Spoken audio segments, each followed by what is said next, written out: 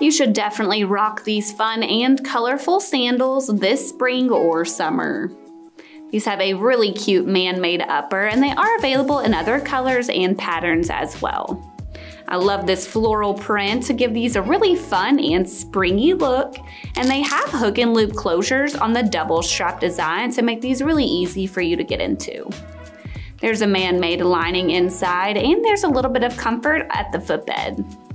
There's almost a wedge heel that will boost you up a little bit in height and they sit all on top of a man-made outsole. These will be great styled with denim jeans and a cute floral top for a really fun look.